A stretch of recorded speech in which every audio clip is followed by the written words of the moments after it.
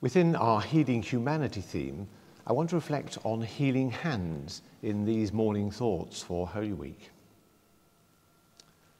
They compelled a passerby who was coming in from the country to carry his cross. It was Simon of Cyrene, the father of Alexander and Rufus. The soldiers grabbed him with their hands, this man from Cyrene, now the eastern part of Libya, coming into the city, and made him carry the prisoner's cross. Why him? Was he the first person to come to hand? Was he different in some way? Coming from North Africa, he might have been black. Luke says of the same Roman soldiers, they laid the cross on him and made him carry it behind Jesus. What a terrifying experience it must have been for Simon, knowing nothing, presumably, of the background to these events, suddenly finding himself in the middle of the swirling crowd, surrounded by very angry people, and asked to carry the cross for a man who had clearly been flogged, who had had a crown of thorns placed on his head, who was covered in blood. It's difficult to imagine what was going through Simon's mind. And then he had to carry this rough bar of the cross, the top part of the T, as it were.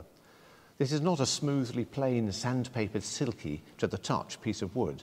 This is a rough hewn bar, heavy, difficult to carry, splintery, painful to the hands to hold, and he seemingly had no choice in this. By the time the procession made its way through the crowds and the chaos of Golgotha, the place of the skull, his hands were probably as bloody as Jesus' body. In every respect, this must have been a frightening and horrifying and painful experience, one which he would have found hard to forget, no matter how much he might have wanted to. And yet, it seems very probable that something else happened to Simon. Only Mark names him Simon of Cyrene, the father of Alexander and Rufus. Saints Matthew and Luke, whom we generally think of as having Mark's gospel in front of them as they wrote, along with other material from their own traditions in their churches, they both omit the father of Alexander and Rufus. The most reasonable explanation of this is that they didn't know who Alexander and Rufus were. In Mark's community, they were known, and he names them. That suggests that the scars on Simon's hand from the rough hewn cross are not the only thing that he took away from his experiences that day. Somehow, the experience of carrying Jesus' cross, seeing who he was, wondering at how he forbore such treatment with enormous grace and dignity, possibly witnessing him die on the cross, all of this made a deep impression on Simon of Cyrene. So much so that he seems to have come back to the disciples on the first Easter day, perhaps, later on as the news about Jesus' resurrection began to spread. We don't know. But he and his two sons somehow became part of the church for which Mark was gathering all the material he could about Jesus' life, death, and resurrection so that he could record it in his gospel. Pain and suffering are always terrible, and I'm convinced not part of God's will for the world. But pain and suffering can lead to healing.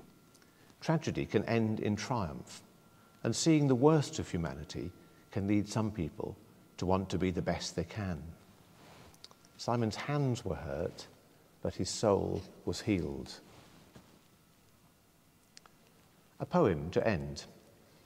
Simon the Cyrenean speaks by Countee Cullen, who lived from 1903 to 1946, an Afro American poet and novelist. He never spoke a word to me, and yet he called my name.